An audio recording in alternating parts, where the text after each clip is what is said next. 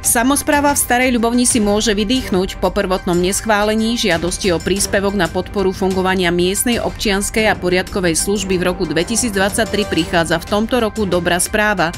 Úrad splnomocnenca Slovenskej republiky pre rómske komunity podporil projekt sumou vyše 488 tisíc eur. Takzvané MOPSky, predtým rómske občianské hliadky, fungujú v Starej Ľubovni už dlhodobo, naposledy mali 8 členov. Osvedčili sa v problémových komunitách v Podsadku na Továrenskej ulici v meste počas obdobia poberania sociálnych dávok a väčších masových akcií.